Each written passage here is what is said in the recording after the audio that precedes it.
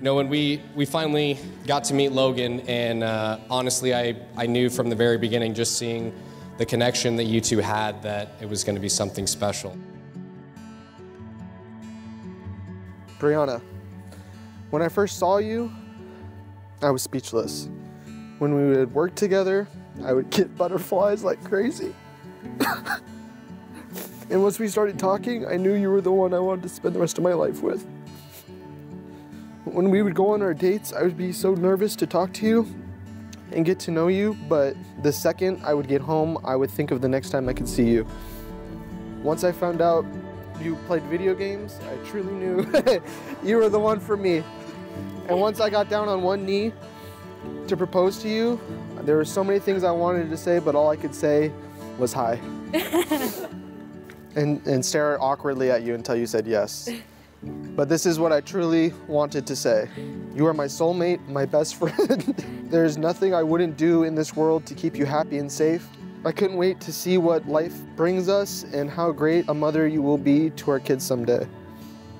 I love you more than anything in life itself, and I'm proud to become your husband. Logan, when I think about the first time we met as coworkers back in the summer of 2015, my immediate thoughts about you are of a very shy, handsome, and hardworking person. I couldn't take my eyes off of you, even when you caught me staring, and I haven't been able to ever since.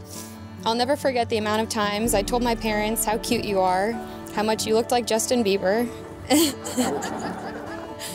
and how we would make them the absolute cutest grandkids.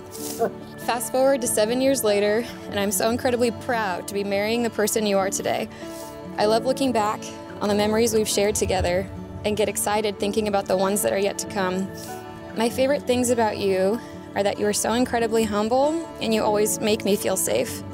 You strive to make me laugh every single day, so much so that you say your goal in life is to make me pee my pants. Which I can embarrassingly admit you have successfully done twice now. You are the most forgiving and kind person I've ever met, and you never let me forget how beautiful and amazing you think I am. You're a hard worker, you always try your best, and you're constantly trying to better yourself to create a stable future so you don't get stuck in your past. I know on that fact alone you're going to make an amazing father to our children someday. I love your patience, your passion, and I love your heart. Above all else, I love that I can say with confidence, you make me so happy. You love me and complete me in ways I never knew possible. Logan, I chose you during that summer of 2015. I choose you today, and I will continue choosing you as my husband forever. I love you. And now, by the power vested in me, by the Universal Life Church, and by the state of Arizona, I now pronounce you husband and wife. Logan, you may kiss your bride.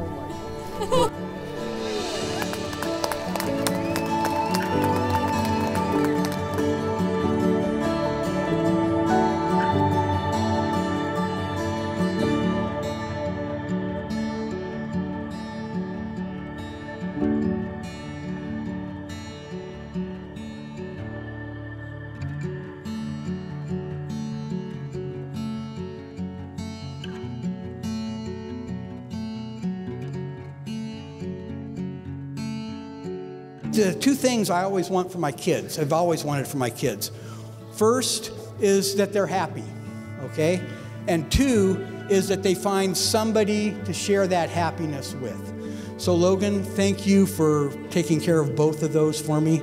I really appreciate that. Thank you. But honestly, I, I really think you two are such a wonderful couple, um, such good partners. The first time that I met Logan, I could tell how crazy he was about her, how much he loves and respects her.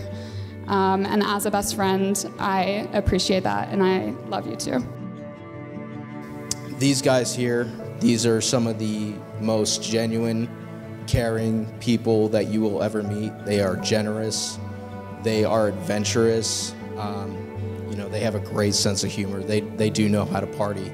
Congratulations, guys. We love you. We're so excited for you, all right?